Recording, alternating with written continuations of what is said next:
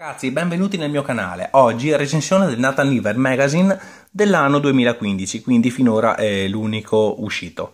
Copertina di Giancarlo Olivares, molto bella, molto dettagliata, un disegno fatto molto bene. Questa ragazza qua dietro eh, mi piace, questo disegno di questa ragazza mi piace in maniera particolare e anche l'espressione del volto di Nathan Never è molto convincente, molto, un atteggiamento molto ben ricreato e sullo sfondo abbiamo questi robot, questi relitti. Boh. Anche la colorazione della copertina mi ha particolarmente colpito, molto bella. E anche questo color melanzana della costina, molto interessante, e anche la parte dietro. Quindi la grafica di questo magazine eh, mi è molto piaciuta. Allora, eh, che cosa contiene questo magazine? Allora, sostituendo la collana Almanacchi, eh, questi magazine al suo interno ha, eh, hanno degli articoli come, come, come, ben sapete, quindi ci sono articoli riguardanti cinema, libri, musica, eccetera, eccetera, che eh, io eh, reputo inutili e passati. Quindi per me nel 2016 con internet questi articoli riguardanti musica, cinema, arte di fantascienza sono per me superati. Sarebbe meglio, come ho già detto nella mia recensione del Dinadog Magazine numero 2, che qui mettessero delle interviste agli autori, piccoli, delle piccole anticipazioni sulla testata di cui tratta il magazine e, e cose riguardanti più che altro la casa editrice o comunque riguardanti le testate in, in, prese in considerazione. Oltre eh, questi articoli eh, che troviamo anche quattro storie, quattro storie di cui una inedita che è Lone Star e tre invece che sono delle ristampe. Ristampe di cosa? Allora, l'ultima che è quella eh, che riesco a spiegarvi mm, più semplicemente, Cologne, scusate, è una mini storia apparsa originariamente su Ken Parker Magazine numero 25 del 1995, perché all'epoca eh, Ken Parker era stato rilanciato dalla Sage Bonelli editore e presentava all'interno, oltre che una storia completa di Ken Parker, anche una storia di un personaggio della Bonelli a scelta di numero in numero. Quindi nel numero 25 del 95 eh, su Ken Parker Magazine è apparsa una storia di eh, Nathan Never che, eh, viene, eh, che possiamo ritrovare qui. Invece, eh, sia la danza, eh, la danza delle luci blu che la sfida, non so se si vede perché la sta facendo fatica a mettere a fuoco il telefono, sono apparse invece in Nathan Never eh, della Mondadori e in Nathan Never Fantasma Venezia della Mondadori sempre, uno del 94 e uno del 96. Che cos'erano questi Mondadori eh, che facevano negli anni 90? Erano degli albi a colori con una storia, diciamo, di Nathan Never grandissimi, quindi in formato albi giganti, che era tutta a colori eh, per l'occasione e che presentava anche una storia in più. Qui ritroviamo ristampate due storie apparse eh, su quella, quella collana lì.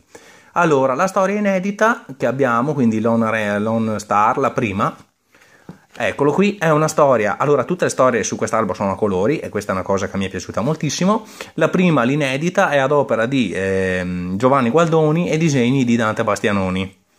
E, eh, Giovanni Gualdoni è uno dei migliori sceneggiatori di Dylan Dog che, sia mai, che siano mai esistiti, che a me piace moltissimo, eh, però purtroppo come curatore di Dylan Dog ha fatto schifo, perché praticamente lui ha fatto perdere non si sa quanti, clienti, quanti acquirenti alla collana di Dylan Dog, è stato sostituito dall'attuale Roberto Recchioni ed è, andato, ed è rifinito a scrivere storie per Nathan Never, storie di Nathan Never che sinceramente non mi convincono più di tanto.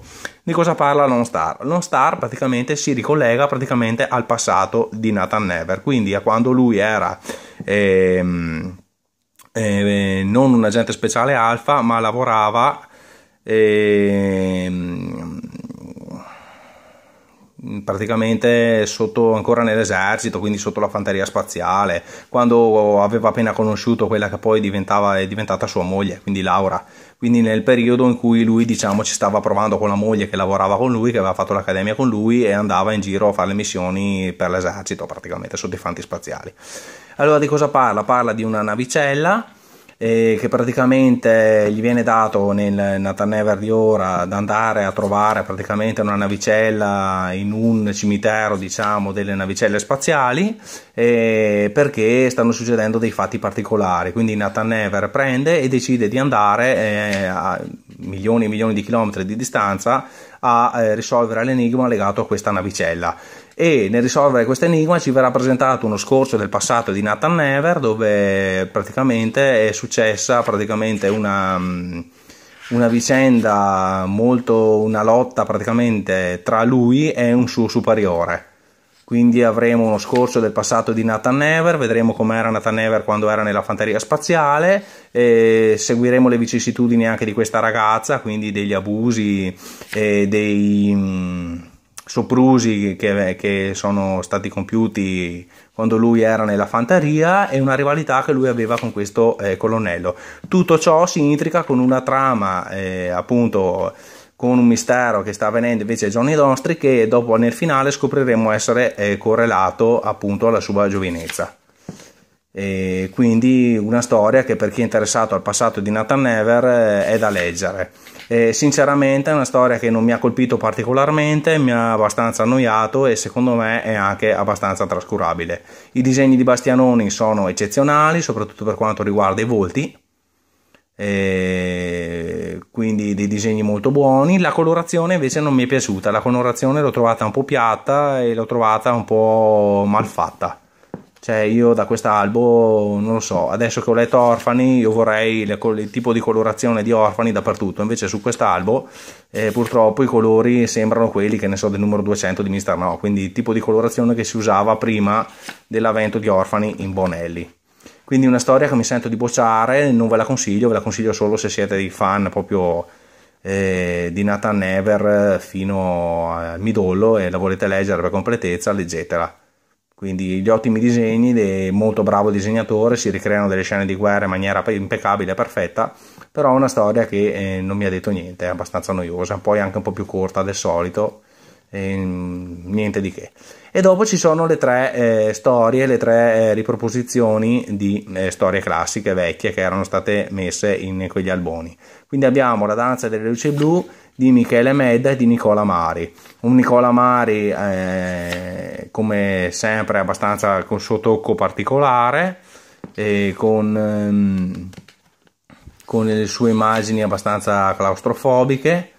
E di cosa parla la prima storia? La prima storia praticamente parla di un'indagine, una tranquilla indagine di Nathan Never all'interno dove lui entra nel, nel cyberspazio, un'indagine che anche questa mi ha lasciato abbastanza freddino, praticamente è tutta quanta spiegata praticamente da dei dialoghi, dei balloon, quindi una storia che ha anche poco di disegno ma tanto di sceneggiatura, una storia che non mi è piaciuta, che dovete leggerla per capirla, cioè spiegarvela è particolarmente difficile.